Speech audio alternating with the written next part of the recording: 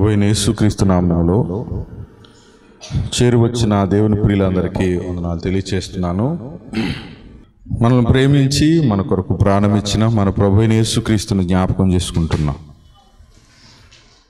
యశాగ్రంథం గ్రంథం యాభై మూడో అధ్యాయంలో మన ప్రభు అయిన యేసుక్రీస్తును గూర్చి మనకు యషయా ప్రవక్త ద్వారా ప్రవచించబడిన ప్రవచనాల నెరవేర్పు యేసుక్రీస్తులో మాత్రమే మనం చూస్తాము. ఆ యేసుక్రీస్తు వారు పదకొండు పన్నెండు వచనాలు మనం చూద్దాం. అతడు తనకు కలిగిన వేదనను చూచి తృప్తినందును. నీతిమంతుడైన నా సేవకుడు జనుల దోషములను భరించి తనకున్న అనుభవ జ్ఞానం చేత అనేకులను నిర్దోషులనుగా చేయను. తను గూర్చిన జ్ఞానము చేత అనేకులను నిర్దోషులుగా చేయును. కావున గొప్పవారితో నేను అతనికి పాలు పంచిపెట్టేదను. ఘనులతో కలిసి అతడు కొల్ల సొమ్ము విభాగించుకును ఏలయనగా మరణమునుందునట్లు అతడు తన ప్రాణమును దారపోసెను అతిక్రమము చేయువారిలో ఉంచబడిన వాడాయను అనేకుల పాపమును భరించుచు తిరుగుబాటు చేసిన వారిని గురించి విజ్ఞాపనము చేసాను. ఈ ఈ వచనములన్నీ ప్రభు యేసుక్రీస్తులోనే నెరవేరటం మనం చూస్తూ ఉన్నాం. ఈరోజు మనము ఆయన గురించి ఆలోచిస్తున్నప్పుడు పదకొండో అధ్యాయము అది పదకొండవ వచనం రెండవ లైన్లో ఉన్న సంగతిని ఆలోచన చేద్దాం. అదేంటంటే నీతివంతుడైన నా సేవకుడు జనుల దోషములను జనుల దోషములను భరించి తనకున్న అనుభవ జ్ఞానము చేత అనేకులను నిర్దోషులుగా చేయను.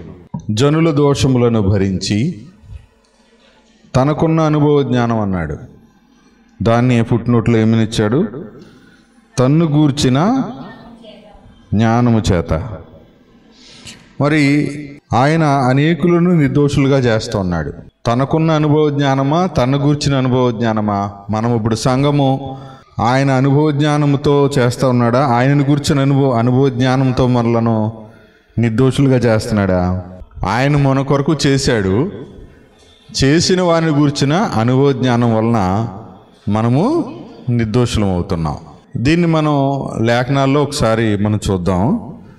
ఆల్రెడీ చాలాసార్లు మనం జ్ఞాపకం చేసుకున్నాం.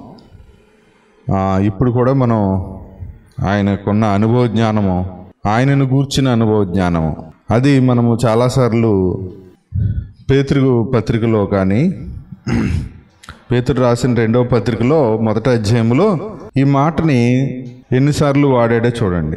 రెండవ వచనం మొదటి అధ్యాయము పేతురు రెండవ పత్రిక మొదటి అధ్యాయము రెండవ వచనము. తన మహిమను బట్టి గుణాతిశయమును బట్టి మనలను పిలిచిన వాని గూర్చిన అనుభవ జ్ఞాన మూలముగా ఒకటే అందరు గుర్తుపెట్టుకోండి. మనలను పిలిచిన వాని గూర్చిన అనుభవ జ్ఞానం. ఎలా పిలిచాడు? తన మహిమను బట్టి పిలిచాడు. తన గుణాతిశయం అంటే తన యొక్క లక్షణాన్ని బట్టి ఆయన దైవత్వాన్ని బట్టి మనల్ని పిలిచాడు. అంతే. మనలను మామూలుగా మన మంచోళ్ళు అని పిలవలేదు. కాబట్టి ఇప్పుడు ఆయనను గూర్చిన అనుభవ జ్ఞాన మూలముగా అన్నాడు. రెండవది ఆయన దైవశక్తి జీవమునకును భక్తికిని కావలసిన వాటిని అన్నిటినీ మనకు దయచేయుచున్నందున. ఇప్పుడు ఆయన అనుభవ జ్ఞానం మూలంగా ఒక అను పిలిచిన వాని గురించిన అనుభవ జ్ఞానం మూలంగా ఏమొస్తుంది? దైవశక్తి మన జీవితంలో భక్తికి జీవమునకు జీవం అంటే జీవితానికి అంటే జీవించటానికి విశ్వాసంతో జీవించటానికి భక్తికి భక్తి చేయడానికి కావలసిన వాటిని అన్నిటినీ మనకు దయచేయుచున్నందున దయచేస్తున్నాడు కదా భక్తికి జీవానికి కావలసినవన్నీ ఇస్తున్నాడు. పిలిచిన వాడిని గురించిన అనుభవ జ్ఞానం వల్ల ఇవి వస్తూ ఉన్నాయి. ఇప్పుడు అలా వస్తున్నప్పుడు దయచేయుచున్నందున ఇప్పుడు మళ్ళీ ఏం కలుగుతుందో చూడండి. దేవుని గూర్చినట్టు మన ప్రభు అయిన యేసును గూర్చినట్టునైనా అనుభవ జ్ఞానము వలన చూసారా? ఏంటి? అనుభవ జ్ఞానము వలన మీకు కృపయు సమాధానమును విస్తరించునుగాక అన్నాడు. ఇప్పుడు మనలో కృపా సమాధానములు విస్తరిస్తాయి. ఈ ఈ రెండు విషయాలు చాలా చాలా ముఖ్యమైనవి. క్రైస్తవ జీవితంలో ఈ రెండు చాలా ముఖ్యమైనవి. వీటిని మనం ఎప్పుడు కూడా మర్చిపోకూడదు. ఏంటవి? కృప సమాధానం. కృపచేత రక్షించబడ్డాము. కృపచేతనే ఆయన మనలను తనతో సమాధానపరుచుకున్నాడు. మనం సమాధాన పడలేదు ఆయనే మనలను సమాధానపరుచుకున్నాడు. ఈ విషయం తెలియటమే మనకు అనుభవ జ్ఞానం అనమాట ఇంకా ఇంకొకసారి ఇదే పదాన్ని ఇచ్చాడు చూడండి ఎనిమిదో వచనంలో. ఇవి మీకు కలిగి విస్తరించిన ఎడల అవి మన ప్రభు అయిన యేసు క్రీస్తుని గూర్చిన ఇక్కడ ప్రభు అయిన యేసు క్రీస్తుని గూర్చిన అనుభవ జ్ఞానం విషయంలో మిమ్మల్ని సోమరులైనను నిష్పరులైనను కాకుండా చేయను. ఏమిటవి? ఇవి అన్నాడు. ఇవి మీకు కలిగి విస్తరించాలి. ఎక్కడ విస్తరించాలి? మనలో విస్తరించాలి. ఇవి మీకు కలిగి విస్తరించాలి. ఏంటవి? అని అంటే దేవుడు మనకి వాగ్దానాలు ఇచ్చాడు. నాలుగో వచనంలో వాగ్దానాలు ఇచ్చాడు. ఏంటి? ఏంటి ఆ వాగ్దానాలు అంటే ఆయనకు ఆ వాగ్దానాలు కూడా మన మంచిని చూసి ఆయన మహిమను ఆయన మహిమ గుణాతిశయములను బట్టి ఆయన మనకు అమూల్యమును అత్యధికములైన వాగ్దానములు అనుగ్రహించి ఉన్నాడు. ఇప్పుడు విశ్వసించిన వారికి ఈ వాగ్దానాలన్నీ అవునా? విశ్వసించిన వారు అందరికీ ఉన్నాయా వాగ్దానాలు? అవి ఎలాంటివి? ఆయన మహిమ గుణాశయాలను బట్టి ఇచ్చాడు. ఏంటి? ఇప్పుడు మన మంచితనాన్ని చూసి ఇవ్వలేదు కదా? ఇది ఎప్పుడు గుర్తుపెట్టుకోండి. ఇది తెలియకుండా చాలామంది భక్తి చేసేస్తున్నారు. అలా భక్తి చేస్తే ఉపయోగం ఏమీ లేదు. ఇక్కడ రక్షణ కొరకు ఏం చేయట్లేదు. భక్తికి జీవానికి కావలసిన వాటి అన్నిటి కొరకు కూడా మనం ఏమీ చేయట్లేదు. ఇంకోటి ఏంటంటే వాగ్దానాలు మరి జీవించాలంటే ఏం కావాలి? దేవుని వాగ్దానం కావాలి కదా. అసలు ఇప్పుడు విశ్వాస జీవించడానికి కావాల్సిన ముఖ్యమైనది ఏంటంటే వాగ్దానం. వాగ్దానాలను స్వతంత్రించుకోకపోతే స్వాస్యాన్ని అనుభవించలేం. అబ్రహాముకు చేసిన వాగ్దానాన్ని బట్టి మనం ఈరోజు రక్షించబడ్డాం. కదా? ఏమని? నీ నీ నీయందు భూలోక వంశములన్నిటినీ ఆశీర్వదిస్తాను నీ సంతానం వలన అన్నాడు. ఆ సంతానము క్రీస్తు కదా? కాబట్టి అబ్రహాంకు చేసిన వాగ్దానాన్ని బట్టి యేసుక్రీస్తు సంతానము అంటే యేసుక్రీస్తు అబ్రహాము సంతానం అయ్యాడు గనుక యేసుక్రీస్తు నమ్మిన వారు అందరూ ఏమవుతున్నారు? అబ్రహాం పిల్లలు అవుతున్నారు ఇప్పుడు అబ్రహాంకు చేసిన వాగ్దానాన్ని బట్టి ఈరోజు మనకు రక్షణ వచ్చింది. అది కూడా మనకి ఇవ్వబడిన వాగ్దానం కాదు. అయినా విశ్వసించిన వారికి వాగ్దానాలు ఉన్నాయా లేవా? ఏం ఎన్నున్నాయి అంటే చూద్దాం ఒకసారి. ఎన్నున్నాయి ఆ వాగ్దానాలు అంటే కొరిందులకు రాసిన రెండవ పత్రికలో చాలా మరి ఇది గుర్తుపెట్టుకోవాలి మీరు కూడా. అందరు కూడా గుర్తుంచుకుంటే చాలా మంచిది. పద్దెనిమిది నుంచి చదివితే అక్కడ స్పష్టంగా రాశాడు. దేవుడు నమ్మదగినవాడు. దేవుడు నమ్మదగినవాడు గనక మేము మీకు చెప్పిన వాక్యము అవునని చెప్పి కాదన్నట్టుగా ఉండలేదు. మా చేత అనగా నా చేతను సిల్వాని చేతను తిమోతి చేతను మీలో ప్రకటింపబడిన దేవుని కుమారుడైన యేసుక్రీస్తు అవునని చెప్పి కాదని వాడై ఉండలేదు కానీ ఆయన అవునను వాడై ఉన్నాడు. అంటే ఆమెన్ అనేటువంటి వాడే ఉన్నాడు. సరే వెంటనే ఏమన్నాడు చూడండి ఇరవై వచ్చిన దేవుని వాగ్దానములు ఎన్ని అయినను అన్నియు దేవుని వాగ్దానాలు ఎన్ని ఉన్నా అన్నీ. మనకు పూర్వం మనకు వాక్యం బోధించిన వారు ఏం నేర్పారంటే ఇస్రాయేలీలకు చెందిన వాగ్దానాలు ఏవి మనకి ఏ సంబంధం లేదు. మనకు పరలోకం ఒకటే ఇస్తాడు అదే దేవుడు మనకు చేసిన వాగ్దానం అని చెప్పి మనల్ని ఏం చేసేవారు? నీరు గార్చేవారు. కానీ ఇప్పుడు ఇస్రాయేలీలకి వాగ్దానాలు ఎక్కువ ఉండి విశ్వాసులకి యేసుక్రీస్తునందు విశ్వాసం ఉంచిన పిల్లలకి. ఇప్పుడు పిల్లలం కదా? మరి పిల్లలకి వాగ్దానాలు తక్కువ ఉంటాయా? ఎన్ని అయితే ఉన్నాయో అన్నిటికీ మనం వారసులం. తండ్రికి కలిగిన అంతటికీ కూడా వారసులు పిల్లలంటే. అంతేగాని ఒకళ్ళకి ఎక్కువ ఒకళ్ళు తక్కువ ఇస్తే ఆయన ఏమవుతాడు? పక్షపాత అవుతాడు. మరి దేవుడు పక్షపాత కాదు. సరే చూడండి ఏం రాశాడు. దేవుని వాగ్దానములు ఎన్ని అయినను? అన్నీ క్రీస్తునందు అవునన్నట్టుగానే ఉన్నవి గనుక మన ద్వారా దేవునికి మహిమ కలుగుటికై అవి ఆయన వలన నిశ్చయములై ఉన్నవి. అంటే ఏమని ఉన్నది? ఆమెన్ అని ఉన్నవి. కనుక ఎన్ని వాగ్దానాలు ఉన్నాయో బైబిల్లో. అన్నిటికీ ఇస్రాయేలీలు వారసులు కాదేమో కానీ యేసుక్రీస్తునందు విశ్వాసం ఉంచిన వారు అన్నిటికీ వారసులే. అన్నీ కూడా అవును. ఆమె అన్నట్టే ఉన్నవి. ఇప్పుడు ఇస్రాయేలీలకి ఎక్కువ ఉన్నాయా వాగ్దానాలు? క్రైస్తవులకి ఎక్కువ ఉన్నాయా? క్రైస్తవులకే ఎక్కువ వాగ్దానాలు ఉన్నాయి. ఇంకా చూడండి మీతో కూడా క్రీస్తునందు నిలిచి ఉండినట్లుగా మమ్మల్ని స్థిరపరిచి అభిషేకించిన వాడు దేవుడే. అభిషేకించింది ఎవరు? మనల్ని అభిషేకించి రక్షించి పర మన మనల్ని సంఘములో చేర్చింది దేవుడే పరలోకంలో కూర్చొని పెట్టింది. దేవుడే. ఇంకా చూడండి ఏమంటున్నాడు? ఆయన మనకు ముద్ర వేసి మన హృదయములలో హృదయములలో ఎక్కడ?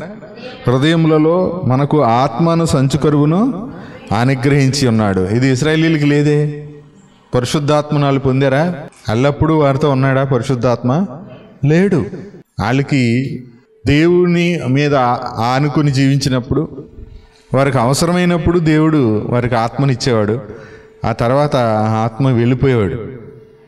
అందుకని దావి దేవుని ప్రార్థన చేశాడు. నీ పరిశుద్ధాత్మను నాలో నుండి తీసివేయకమని ప్రార్థన చేశాడు. మరి మనం ఇప్పుడు చేయొచ్చా? లేదా మళ్ళీ పరిశుద్ధాత్మ రా రా అని వచ్చా? యా ఎందుకు అనకూడదు? ఆయన ఎల్లప్పుడూ ఉన్నాడు. ఆల్రెడీ ఎన్నోసార్లు విన్నారు కదా. మనలో ఆల్రెడీ ఉన్నాడు ఆయన. ఏంటి? ఆల్రెడీ ఉన్నాడు. ఉన్నాడా? అప్పుడెప్పుడు వస్తాడా? అప్పుడెప్పుడు వస్తే? దెయ్యం దురాత్మ అంటారు. ఎల్లప్పుడూ ఉండేవాడు పరిశుద్ధాత్మ. అప్పుడెప్పుడు వచ్చేవాడు? దురాత్మ. వచ్చి ఏం చేసేవాడు? ఆ నీళ్ళల్లోనూ నిప్పుల్లోనూ పడేసేవాడంట. అపవిత్రాత్మ. ఒక అబ్బాయిని కదా? అలాంటి అలాంటివాడు కాదు పరిశుద్ధాత్మ అంటే. ఆయన ఎల్లప్పుడూ ఉంటాడు. ఇంకా అసలు ఆయన ఆయన ఏమైనాడు? ఆయన ఆదరణకర్త. ఆయన ఎవరు? ఆదరణకర్త. ఇంకేమన్నాడు ఇక్కడ? అడ్వాన్స్ సంచి కరువు. హృదయాల్లో ఇచ్చాడు. ఇక భజన ఇచ్చిన తర్వాత నాకు వద్దు అని చెప్పేవాడు కాదు. ఏంటి? ఆయన భజన ఇచ్చాడు కదా? మనల్ని కొన్నాడా కొనలేదా?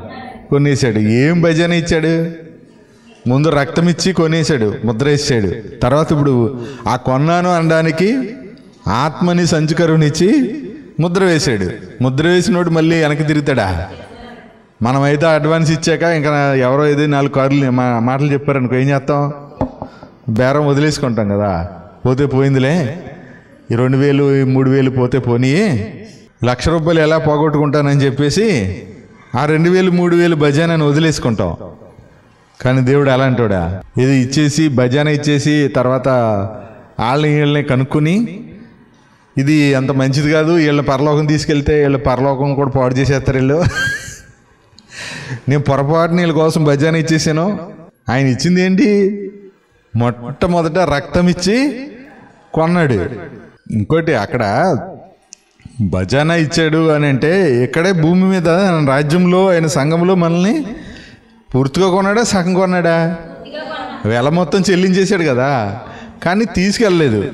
భౌతికంగా ఇక్కడి నుంచి తీసుకెళ్ళలేదు తప్ప ఆయన పూర్తిగా వెల చెల్లించేశాడు. మనం ఇప్పుడు ఆయన సొత్తే. ఏంటి? ఆయన సొత్తే. కాకపోతే ఆయన వచ్చి తీసుకెళ్తాడు. అప్పటి వరకు మన హృదయాల్లో ఎల్లప్పుడూ నివసించటానికి మనల్ని ఆదరించటానికి నేను మిమ్మల్ని విడువలేదు అనాథలుగా నేను మీకు తోడై ఉన్నాను అని చెప్తూ ఆయన తన కుమారుని ఆత్మను మనలో ఉంచాడు. ఎక్కడ ఉంచాడు? మన హృదయంలో ఉంచాడు. కదా? చాలామంది అనుకుంటున్నారు అంటే అనుకుంటున్నారు అనుకుంటున్నారంటే కారణం ఏంటంటే వాళ్ళకి యేసుక్రీస్తుని గురించిన అనుభవ జ్ఞానం నేర్పించట్లేదు. అసలు ఆయన పిలిచిందే మన మంచితనాన్ని బట్టి కాదు. ఆయన మహిమను బట్టి పిలిచాడు ఆయన గుణాశయాన్ని బట్టి పిలిచాడు. కనుక ఈ పిలిచిన వాడే ఈ విధంగా పిలిచాడనే అనుభవ జ్ఞానం మొదట లేదు. అది లేనప్పుడు ఏం రాదు? ఆయన దైవశక్తి మనలో పనిచేయదు. ఇప్పుడు నేను దేవుడిని నమ్ముకున్నాను అంటాం మనం. అది నిజమేనా? నేను దేవుడిని నమ్ముకున్నాను. నేను యేసుప్రభుని నమ్ముకున్నాను. అది నిజమేనా? కాదా?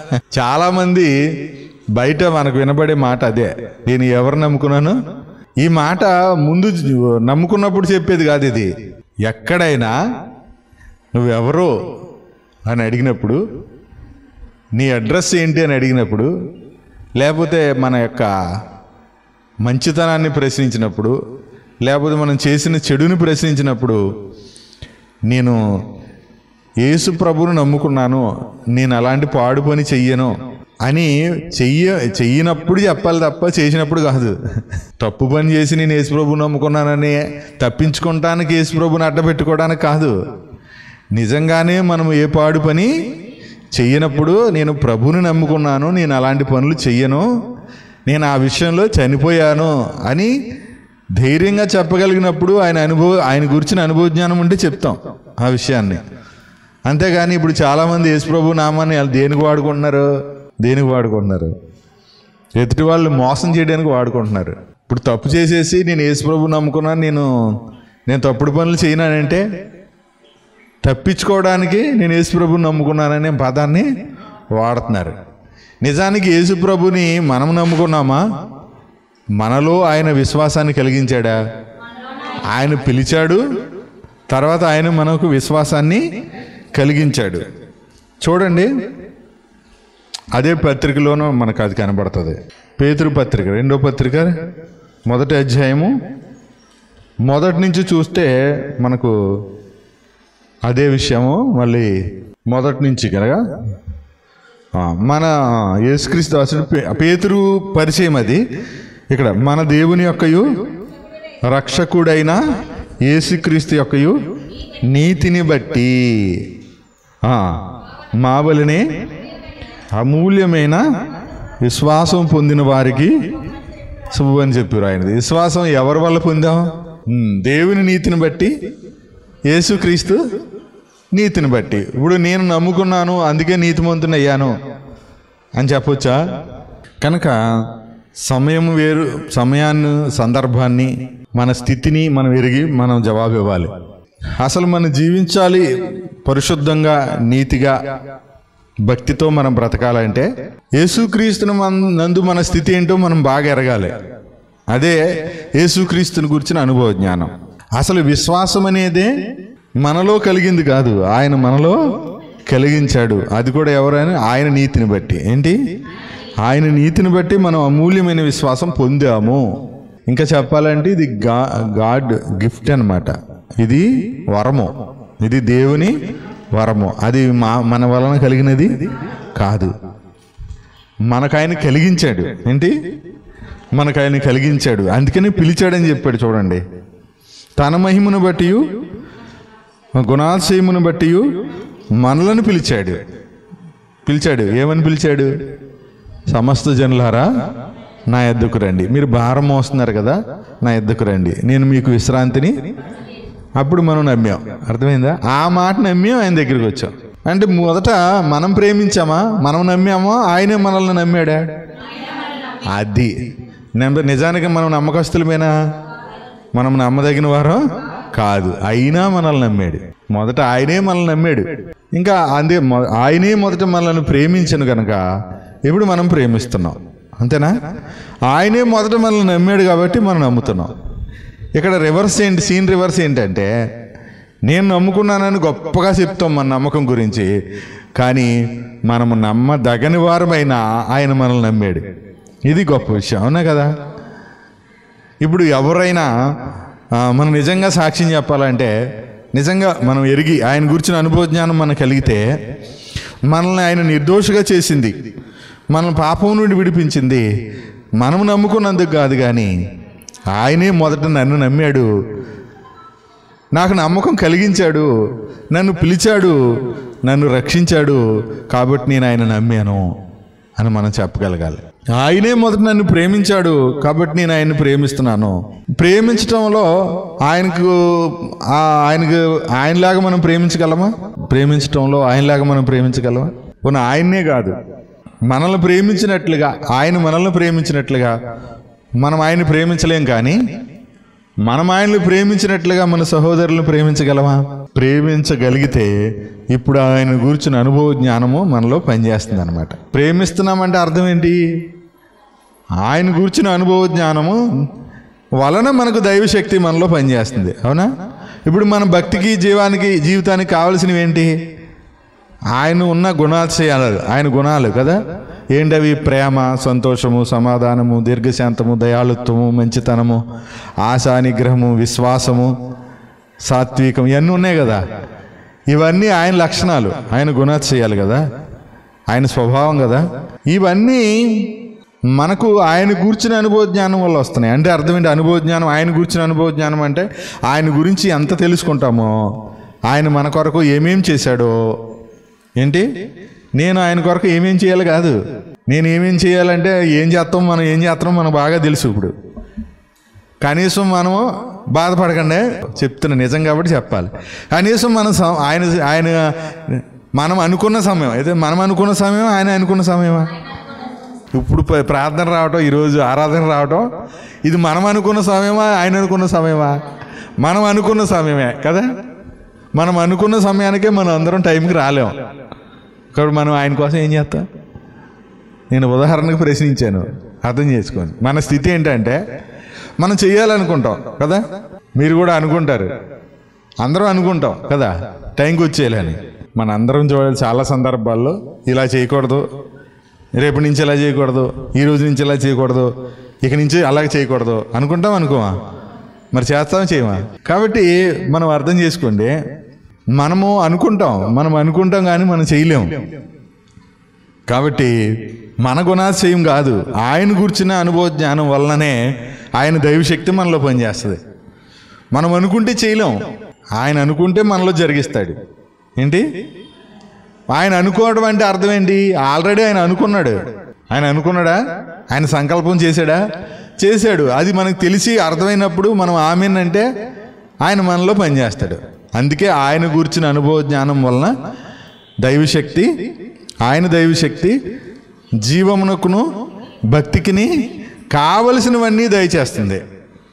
మరి మన మనకి ఈ విషయం అర్థమైందా? చెప్పండి.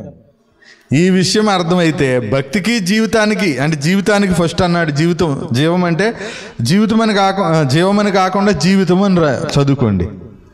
ఓ నిత్య జీవం కోసం అని అని చదువుకోండి. అసలు ఏం కావాలో జీవితానికి భక్తి చేయటానికి అంటే జీవించటానికి విశ్వాస జీవించటానికి కావలసినవన్నీ దయచేస్తాడా? కొన్నేనా? అన్ని దయచేస్తున్నప్పుడు మరి కొన్ని మనం సంపాదించుకోలేము? మరి డబ్బులు సంపాదించుకోద్దా మరి అప్పులు ఉన్నాయి కదా సంపాదించుకోవాలి కదా. ఇప్పుడు ఆయన గురించిన అనుభవ జ్ఞానం ముఖ్యం అంటారా? మన సంపాదన ముఖ్యం అంటారా? అడిగితే ఇదే చెప్పేస్తారు. రెండోదే సంపాదనే ముఖ్యమని ముఖ్యం అంటారా? అనరు. ఆయన గురించిన అనుభవ జ్ఞానమే ముఖ్యమని చెప్తారు చెప్తారు. చెప్పేటప్పుడేమో ము- ఆయనే ముఖ్యమని చెప్తారు. చేసేటప్పుడేమో సంపాదనే ముఖ్యమని క్రియలు ఏం చెప్తున్నాయి? సంపాదనే ముఖ్యమని చెప్తున్నాయి మాటలు ఏం చెప్తుంది నోరు? ఆయన గురించిన అనుభవ జ్ఞానమే ముఖ్యమని చెప్తుంది ఇప్పుడు దేవుని దైవశక్తి మనలో పనిచేయటానికి వినండి దైవశక్తి మనలో పనిచేయడానికి మనకేం కావాలి? ఆయన గురించిన అనుభవ జ్ఞానం. అంటే ఇప్పుడు ఆయన గురించిన అనుభవ జ్ఞానం మనకి ఎలా వస్తుంది? సరిగ్గా చెప్పాలి? ఆయన గురించిన అనుభవ జ్ఞానం ఎలా వస్తుంది?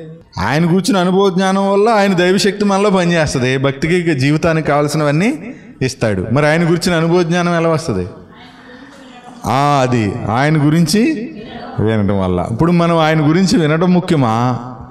లేకపోతే మన పనులు చేసుకోవడం ముఖ్యమా? ఇప్పుడు అందుకనే మార్తా మరియా రెండు సందర్భాలు తెచ్చి చెప్పాడు. మరి ఎక్కడ కూర్చుంది? యేసుక్రీస్తు పాదాల దగ్గర కూర్చుంది. మార్త ఏం చేస్తుంది? వంట పనులు చేస్తుంది. కొన్ని విస్తారమైన పనులు పెట్టుకుంది. మరి ప్రభు అమ్మా మీ అక్క చాలా కష్టపడి వంటలు చేస్తుంది మనందరికీ నువ్వు వెళ్ళి సహాయం చేయని చెప్పాడు ఫస్ట్. మారతమ్మ వచ్చింది. నీకు చింత లేదా అంటుంది. ఎవరిని? యేసుక్రీస్తు వారిని. అంటే మన చింతలు అలాగ ఉంటాయి అన్నమాట. ఈవిడికి ఏ చింత ఎక్కువైపోయింది? వంటలు చేయాలని చింత ఎక్కువైపోయింది. కాబట్టి ఇప్పుడు ఏమంటుంది యేసుప్రభు దగ్గరికి వచ్చి ప్రభువా నీకు చింత లేదా?